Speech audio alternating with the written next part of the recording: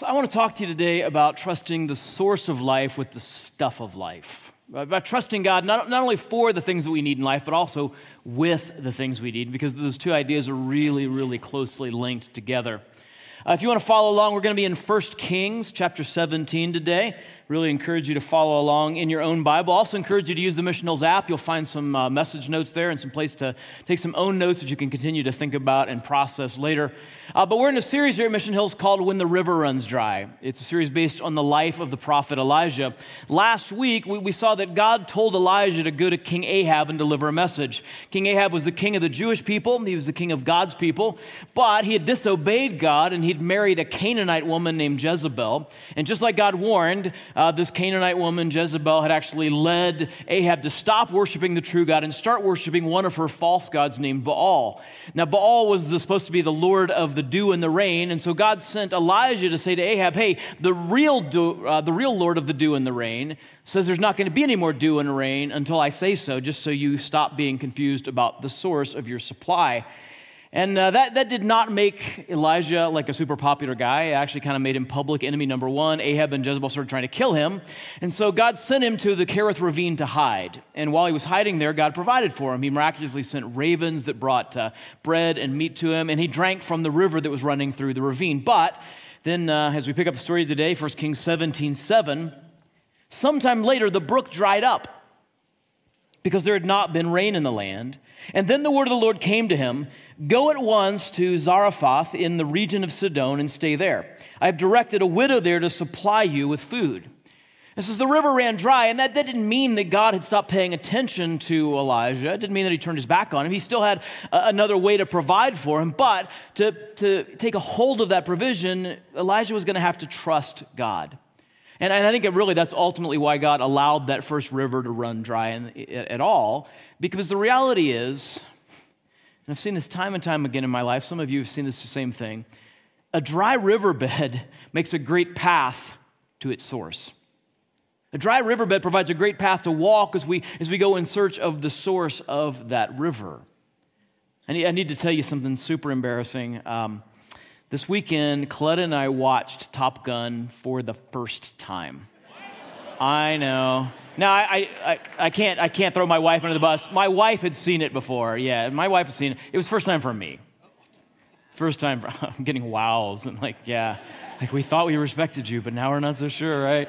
Yeah, let, let me tell you why I hadn't watched it before. See, it came out about just really not long after uh, uh, I was dealing with a dry riverbed in my life. So I grew up in an Air Force family. We grew up on uh, military bases, and I was always watching F 15 fighter jets do their exercises, and I, like, that's what I wanted to do with my life. I wanted to fly F 15 fighters. And uh, a couple years before Top Gun came out, I, I, went to class one day and they're like, oh, we're doing a different kind of test today. We're, we're, doing this little eye test. You stick your head in this thing and you're supposed to tell us where, where's the apple. And apparently I got that one wrong because they, they were like, well, we want you to look at this, this, uh, this thing on the wall and we want you to tell us, you know, what, what, what, the letters are. And I was like, those are hieroglyphics. Those are not letters. What's this sneakiness you're doing here? And they're like, oh, you, you need glasses or contacts. And that was, that was devastating because I realized in that moment I was not going to be flying F-15 fighter jets. And that, that was, I mean, that was like, uh, that was hard. That's what I wanted to do when I grew up. That's what my whole life had kind of been sort of aiming towards. And when that happened to me and that river ran dry, and then the Top Gun movie came out, I was, just, I was still struggling. But, but I can tell you now, after the fact, that honestly, one of, the, one of the greatest gifts God has ever given me is bad eyes. because that, that dry river, riverbed became a path that I walked when I was searching for the source. And, and it led me ultimately to, to dig deeper into who God was and what God was, was calling me to do in my life. And I've, I've been able to be part of so many things that I would have missed out on if I'd gone down that particular road. But instead, I, I walked up a dry riverbed and I found the source of all rivers. And I'm so grateful for that. And that's what Elijah is kind of facing right now. He's got a dry riverbed, but a dry riverbed's a great path to walk in the search for the source. And so God's basically saying, I want you to trust me. And so he says, he says, get up and go at once to this other place. And it's interesting, in the original Hebrew, what, he literally says is, get up. It's translated as go at once because there's a sense of urgency to it. God, God is saying, hey, you can't stay where you are. You got to get up and go. And, and I think the reason that, that, God gives that particular command is because Elijah is not that much different than the rest of us. And, and when we have a place of provision, our temptation is always to want to try to stay in that place, right? Maybe tomorrow the river will start flowing again. Maybe just a little bit longer, and everything that I, I used to get from this place, I'm going to get again. And I think Elijah's temptation to want to stay in that place is probably two things. Uh, number one, it's just been, like I said, it's just been a place, and so he's thinking maybe it could be again. But, but also, it's probably because what God is asking him to do here is terrifying. It's terrifying. Why do I say that? Well, God says, I, I want you to go to this place called Sidon, to the region of Sidon. Here's what you need to know about Sidon Sidon was Canaanite territory. So it was, it was enemy territory. It was, the, it was the territory of the tribes that surrounded Israel. It wasn't Israelite home turf, it was enemy territory. And just to make it a little bit worse, Sidon was where Jezebel was from. It was Jezebel's hometown. And, remember, Elijah is just the one who has denounced Jezebel's God and essentially denounced Jezebel. He's basically said, Yeah, th- this woman who's brought this false God to Israel, she's a liar. And now God's like, Yeah, why don't you go hang out in her hometown? It's like, yeah, that's not smart, God. I was trying to find some way to like put that in modern terms, and here's the only way I can think of it. It'd be kind of like if the Pope went on national news and said, "Yeah, just so everybody knows, Allah isn't real and Muhammad is a liar," and then he tried to go to Mecca.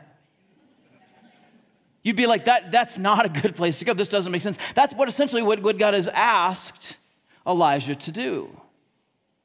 It's a terrifying thing. And, and, Elijah, of course, has got some questions. He's like, yeah, okay, yeah, you're telling me that there's a widow there that's going to supply my needs. Yeah, I, I don't understand how that's going to work. Because, first off, she's a Canaanite. So she's not going to be willing to help me out. And, second, she's a widow. Widows are the poorest of the poor in the best of conditions. In the midst of a drought and a famine, she, she, she couldn't provide for me even if she was willing to. Even if she was willing, she's not going to be able. So, how's that going to work? He had questions about that. But what God's asking him to do is to focus on who, not how. Okay? He's saying, I, I want you to trust me. Don't worry about how I'm going to take care of you. I'm giving you just enough to know that I've got a plan. But I want you to focus on who, not how. Because, and this is so important, church, listen to me. Because if God is the source of life, he can be trusted to take care of the stuff of life, right? If God really is the source of life that we think he is, then he can be trusted to take care of all the stuff of life that we need. Absolutely, he can. But, but that's hard, right? It's a hard thing to, to get a handle on. Because the stuff of life, the stuff that's right in front of us, that tends to be the stuff that kind of attracts our trust, right? And so God's saying, hey, listen, I, I want you to focus on who, not how. Trust that the source of life can take care of the stuff off. Take your eyes off of the stuff that's been right in front of you. Look up the dry riverbed to the ultimate source of all the rivers. By the way, it's interesting. I mean, this is basically what Jesus said. Jesus said, you know, people spend, so, people spend so much time, they're all worried about what they're going to wear and what they're going to eat and drink and where they're going to live. But he said, seek first the kingdom of God and the king who's in the kingdom, the king who makes it a kingdom. And he says, all these other things will be added to you. You, you trust the source of life, and because He is the source of life, He will take care of the stuff of life. And so, so God says, I need you to trust who, don't worry so much about how. Okay, so that's, that's what Elijah needs to do. Now, so how does he do that? How does he, how does he demonstrate that trust? Does he just declare it? You just go, okay, God, I, I definitely trust you, and say where he is? No. What does he got to do? He's got to go.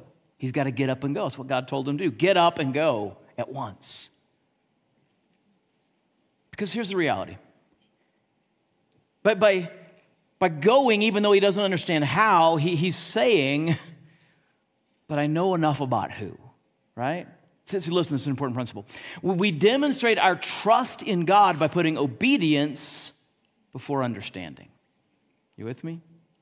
It's one of the clearest ways we demonstrate our faith in God. It's because we, it's by, it's by putting obedience before understanding. Now, listen, I'm not talking about trusting a God who's never given you any reason to trust him, okay? I'm not talking about a blind leap into the dark here. The, the, the issue here basically is we, we trust the God who has provided, will provide, even though we don't understand how. But we're trusting a God who's shown us over and over again that he can be trusted. That's what the cross is, right?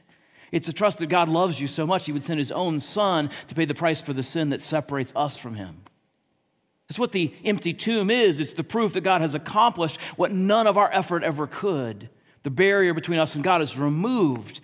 This is a God who has provided over and over again. And so, the God who has provided, we're going to trust He will provide, even though we don't necessarily understand how. But I tell you what, I remember when, when we began to understand that God was calling us to Mission Hills, there was a whole lot of questions Colette and I had. There's a lot we didn't understand because, I mean, I'd only been a lead pastor at that point for about a year.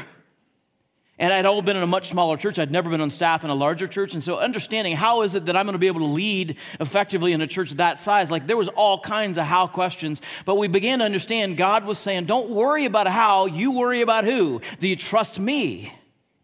And we're so glad that we, we put obedience over understanding. That's what Elijah is being called to do. And it may be in some way you're being called to do exactly that same thing right now. It's what Elijah is being called to do, and, and, and it's what he did. And so he went.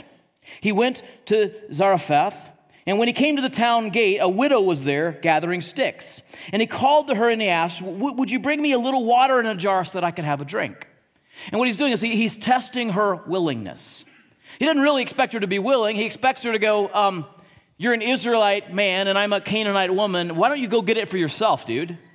That's really what he expects to happen. But to his surprise, she actually is willing. And she actually turns and says, Yeah, I'll, I'll go to the well. I'll get you a little bit of water. And so she heads off. And as she was going to get it, he called out, Oh, oh, and bring me a piece of bread, please. Bring me a piece of bread. Now he's testing her ability. See, he wasn't testing her ability with the water because the water would have come from a well, and even though they're in a drought, the, the wells would have been fed by, by deep aquifers. And so, even in the midst of a drought, there, there probably would have been water in the well as long as it was deep enough. So, there he's really testing are you willing to go get it? But now he's testing her ability because, again, she, she's a widow and it's the middle of a drought and a famine. And so, because the widows were the poorest of the poor, she, she probably didn't have enough food for herself. And it's almost inconceivable that she would have had enough to share with a stranger.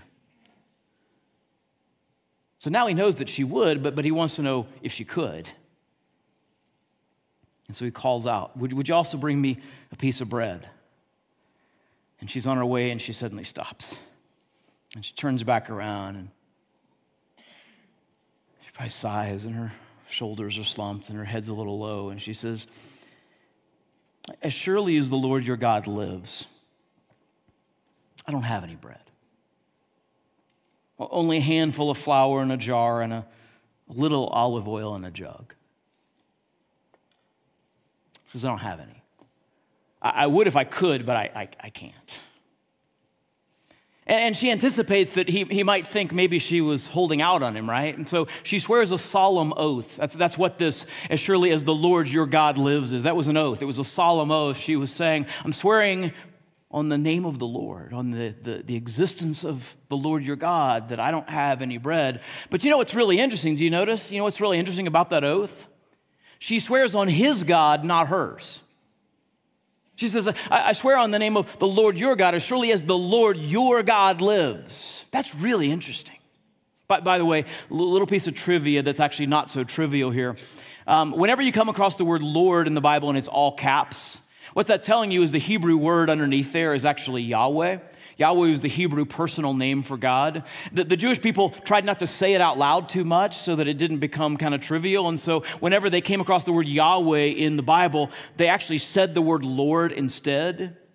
And, and over the years, English translations have kind of followed that tradition. But, but she actually says, as surely as Yahweh, your God, lives. She names him particularly. But that's really interesting. She says, as surely as Yahweh lives, not as surely as Baal lives. Why would she swear by his God? And I think the answer is because at this point, she's starting to question whether or not Baal is really all he's cracked up to be. Normally, I'd swear by Baal, but honestly, Baal hasn't done much lately. And I'm not sure I want to swear by him living because I'm not quite sure he does. In, in other words, this is so important. She, she's beginning to have some doubts. She had some doubts about whether or not her God had the goods. Do you hear me? She's questioning whether or not her God really had the goods. Now, he, he, she's not saying Elijah's God or her God. She still makes it very clear, eh, you know, surely as the Lord your God lives. He's your God, not mine, but she's got real questions about her God. He's not sure that he's got the goods. But she hasn't really shifted yet. She hasn't transferred her trust because she, she's not all that different than you are. She's not that different than I am. And the reality is that we all have gods, little g gods, that we tend to turn to, even though they've consistently failed to provide what they promised. Right? We, we look to relationships. Well, that, that's where I'm going to get all my needs met. We have a community of people. They're the ones who are going to give me my identity, my security, right? We, we, we have a job, we have a career, we, we have money that comes in, we have possessions we own, and we, we look at those things, even though they've consistently failed to provide what we need. But we keep looking to them.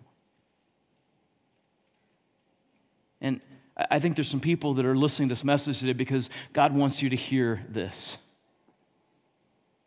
You've got a, good, a God that doesn't have the goods. You hear me? You, you keep turning to a God who just doesn't have the goods. He doesn't have what you're looking for.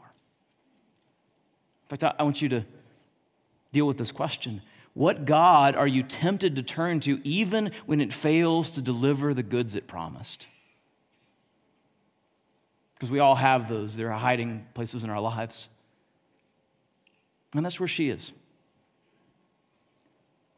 She's got questions about her God, but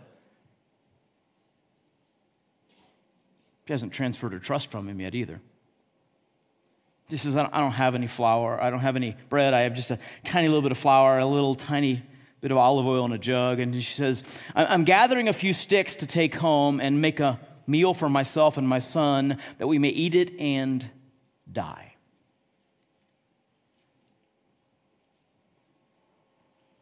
I, would if I could, but I can't. I've got just enough to pour that little bit of olive oil into that little bit of flour. I'm going to make a bite or two that my son and I are going to eat, and that's going to be our last meal. This is it. We're, we're done. And this is rock bottom, right?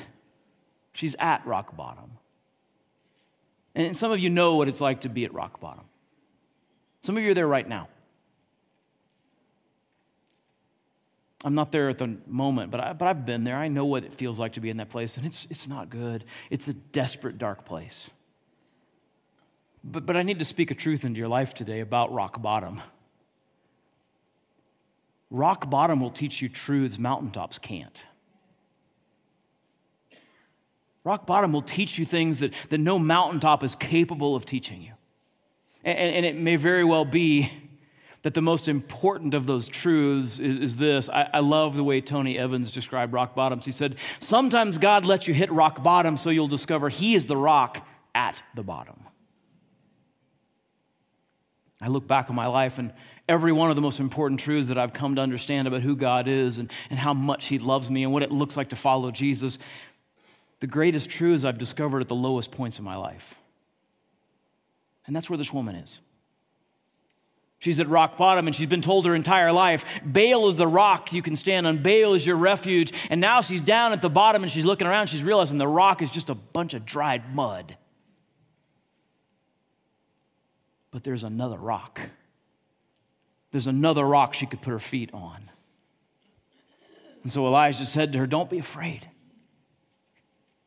Go home and, and do as you have said. But first, Make a small loaf of bread for me from what you have and bring it to me, and, and, then make something for yourself and your son. For this is what the Lord, Yahweh, the God of Israel, says The jar of flour will not be used up, and the jug of oil will not run dry until the day that the Lord sends the rain, until Yahweh sends the rain. He says, Yeah, I know that, uh, that your God failed to deliver the goods. I know that Baal turned out not to be the rock you were looking for, but there is another rock and he's the source of all the stuff that Baal can't give you. And on the one hand, what, what he's saying here is it's a, it's a promise, right? He's promising what his God is going to do. But at the same time, I think it's so important we recognize this, it's also an invitation.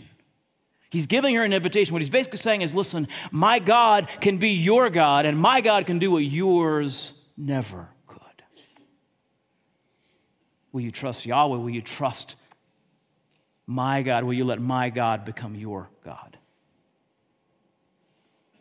Okay, how does she do that? How does she transition her trust? How does she transfer? How does she make that that, that move? Does she just sit there and go, okay, yeah, I trust your God? No. It takes just one little thing more than that. Remember how Elijah couldn't stay where he was? He had to get up and go.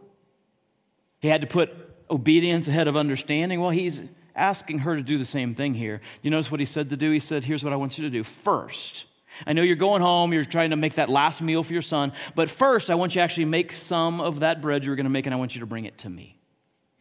Do that first, he says. Now, I don't know about you, but like my first reaction to that is, dude, cold.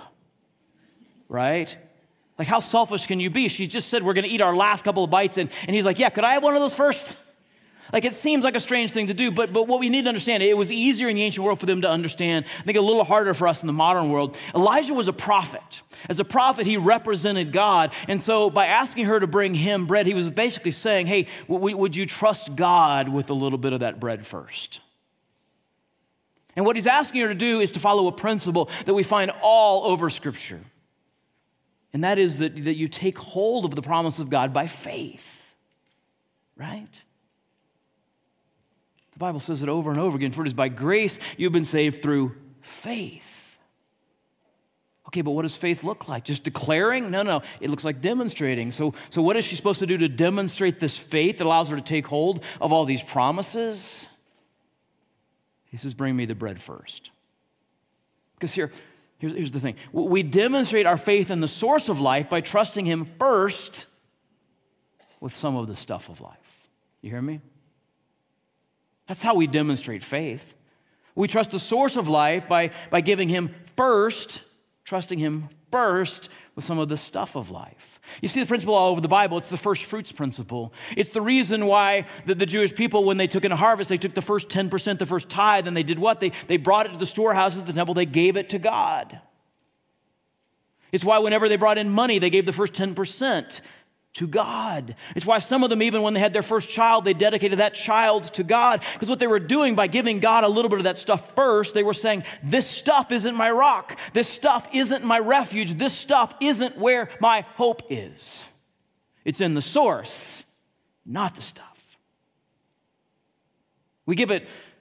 We give it to God after the fact, after we've used up what we need. What we're really saying is, this stuff is actually where my trust is, right? You know, well, well, yeah, I got some money came in and, and, I did what I need to do. I paid my bills and then I did this and I did this and, and there's a little bit left over and say, yeah, I'm going to give that. Okay, what you've really said is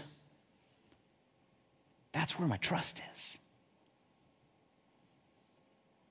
And so this principle is that we, we demonstrate our, our trust in the source of life by giving him first some of the stuff of life. It's why we say here at Mission Hills that giving first honors God.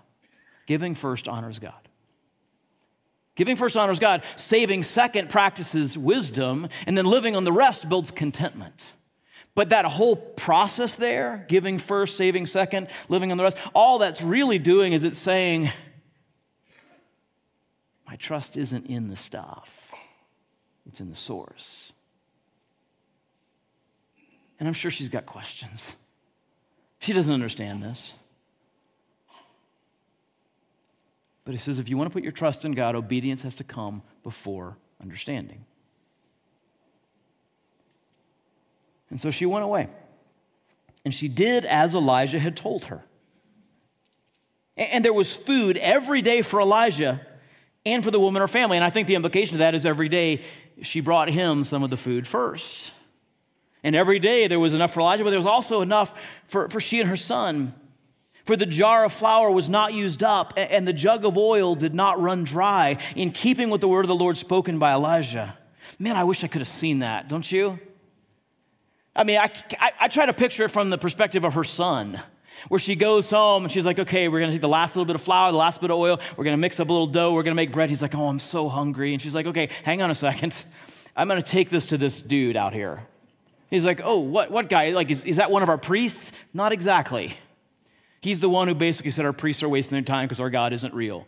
You're taking him our last bit of bread. Yeah. And she does. And she comes back and he's like, What do we do now? And she's like, I, I don't know. I mean, I. Huh.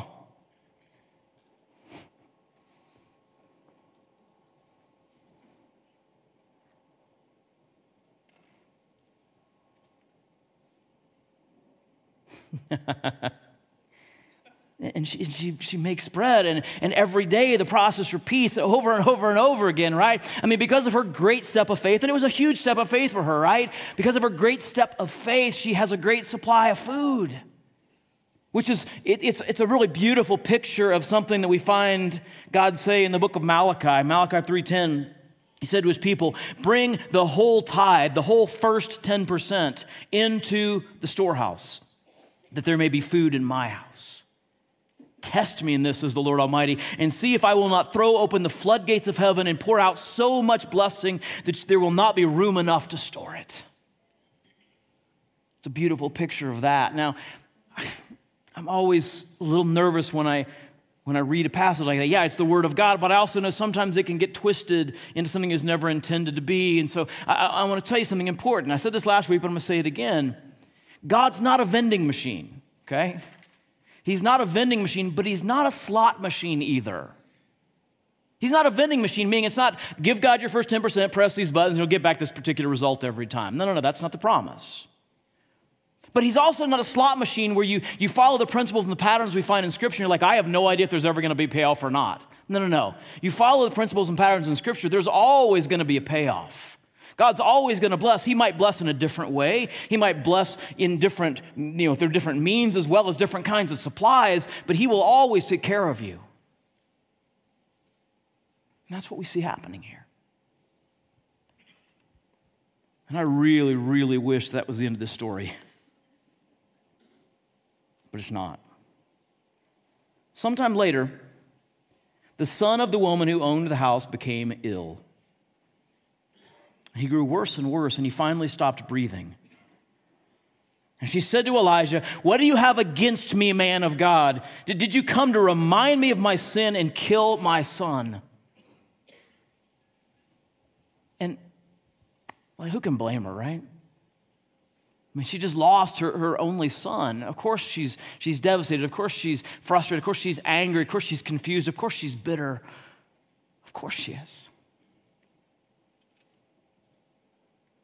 But there's another thing going on here that, that would be easy to miss because we live in a different world than she lived in. In the world that she lived in, what we need to understand is this, this boy wasn't just her son, he was also the stuff of life. Because they didn't have Medicare, they, they didn't have Social Security, they didn't have food banks. For, for this woman, this boy was the one who was going to give her what she needed. He was going to feed her when she got old. He was going to make sure she had clothes when she got old. He was going to make sure she had a place to live when she got old. He wasn't just her son, he was the stuff of life. But now he's dead. And she's not just grieving, she's lost a son, she's panicking. She's like, what am I going to do? And her reaction is actually a revelation. Her, her, her reaction actually reveals a lot about where her trust is because listen to me, how we react to the loss of the stuff of life tells us a lot about our trust in the source of life. How we react when we lose some of the stuff of life tells us a lot about how much trust we actually had in that. I, I want you to do something right now. I want you to think about a time that you've lost some stuff. Maybe it was a relationship. Maybe it was a community. Maybe it was a house, maybe it was a job, maybe it was a possession, maybe it was an ability, maybe it was money.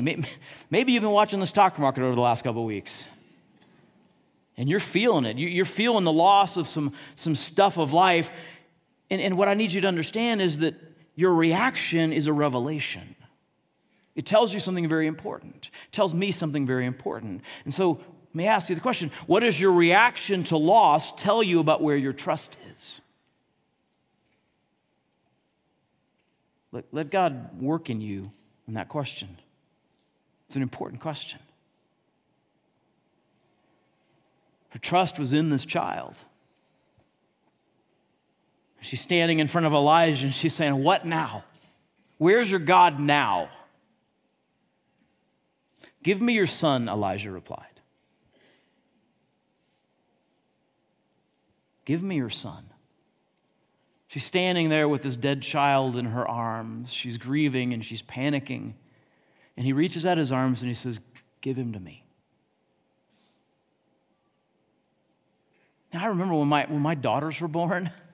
And by the grace of God, they, they, they were healthy. And then medical people came. They're like, you know, give us your daughter. We're going to take take them away. We're going to test them and poke them and prod them. And I was like, no.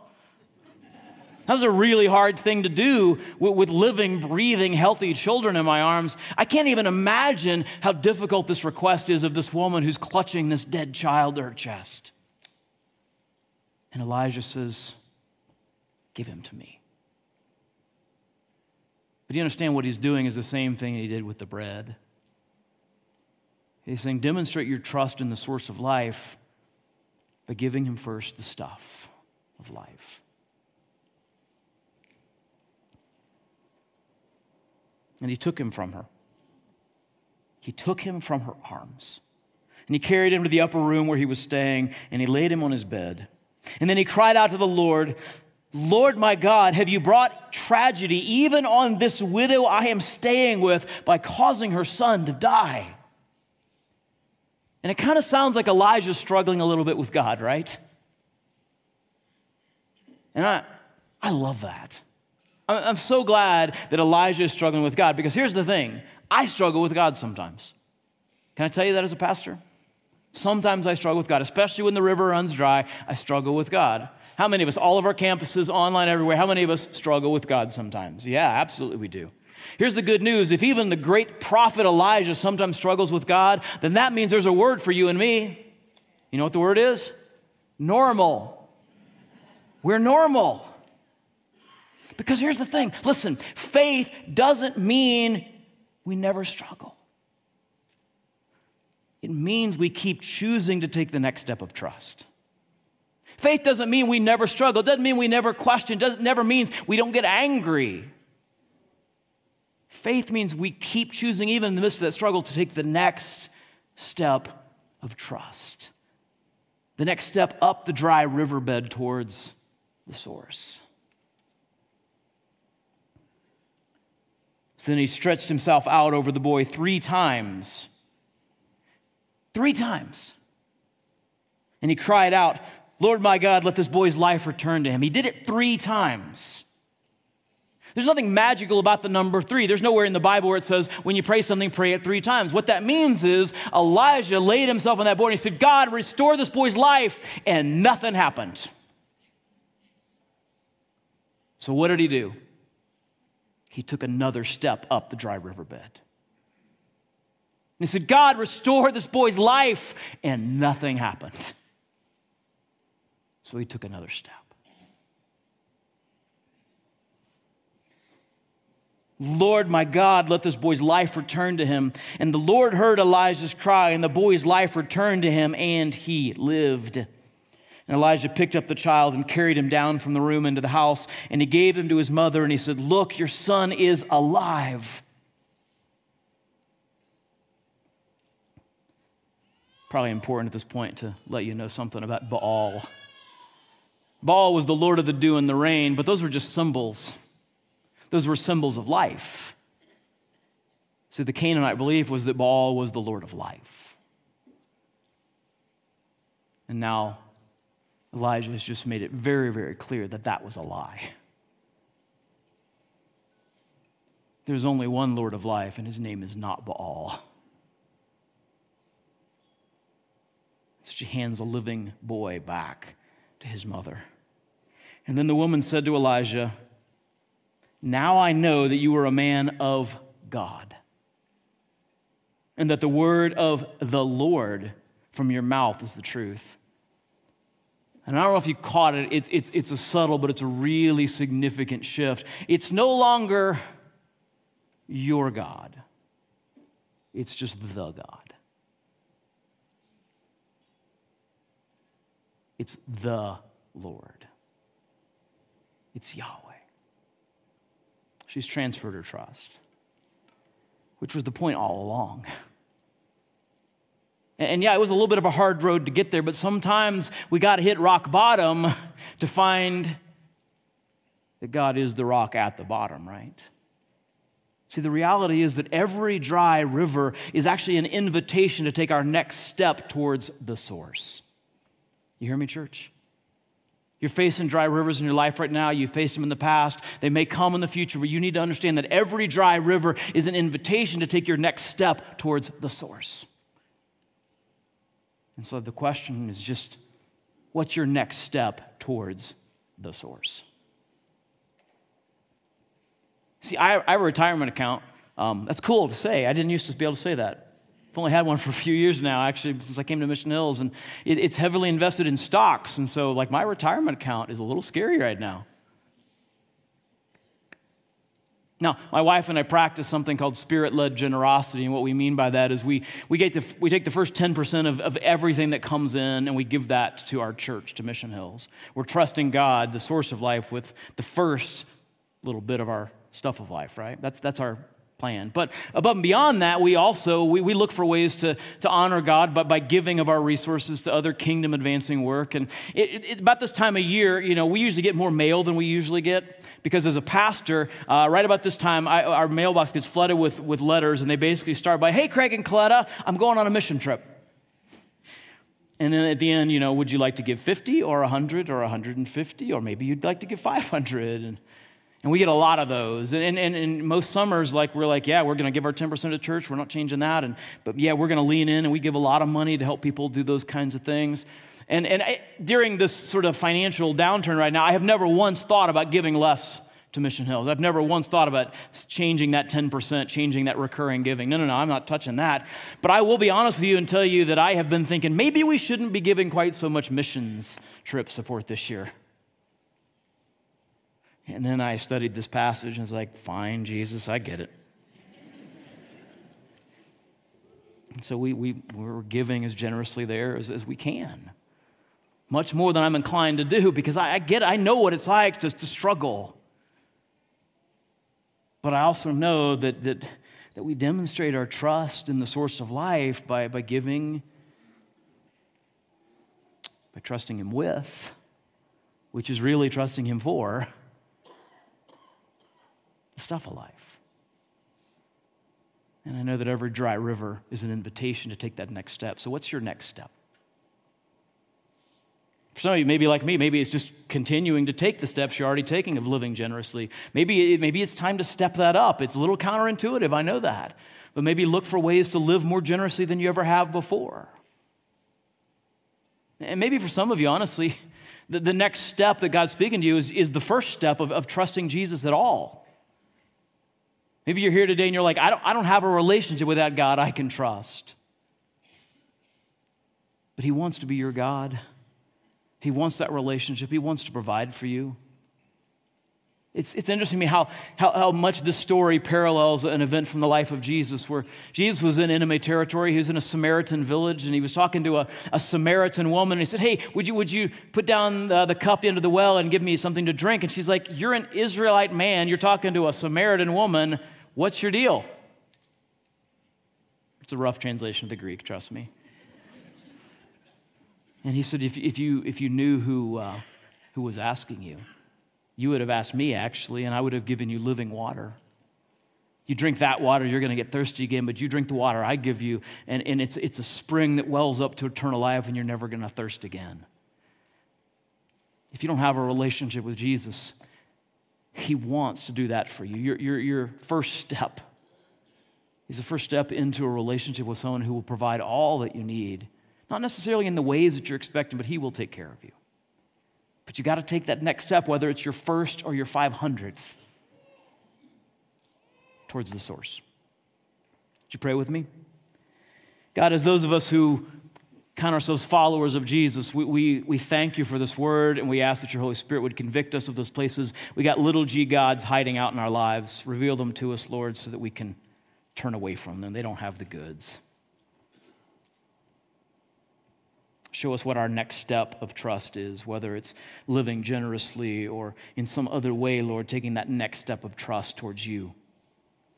And for those that are here today and, and they know that their next step is their first step, if that's you, here, here's how you do it. Here's how you come up the dry riverbed to find that Jesus is waiting to supply all your needs. You just have a conversation with him. It goes like this God, I've sinned and I'm sorry. I've done wrong. I'm sorry. Jesus, thank you for dying on the cross for me. I believe you rose from the dead. And I'm ready to trust you. Jesus, I'm putting my faith in you. I'm choosing to follow you from here on out. I receive forgiveness and eternal life, and I trust you for the stuff of life. Amen. Hey, can we celebrate those who've made that decision for the first time today? Hey, listen, if you made that decision for the first time today, I'm going to ask you to do something to kind of like plant your flag in the ground, demonstrate that faith. Uh, very simple. Just let us know you made the decision. If you're watching online, you can click the button that's right around me. You'll see it. Um, if you're on one of our campuses or you're somewhere else listening to this message, you, you can always just text the word Jesus to 80875. Text the word Jesus to 80875. You're just going to let us know you made that decision. We're going to celebrate that with you, send you some free resources to help you begin living it out. We worship a God that can be trusted. Amen? Amen.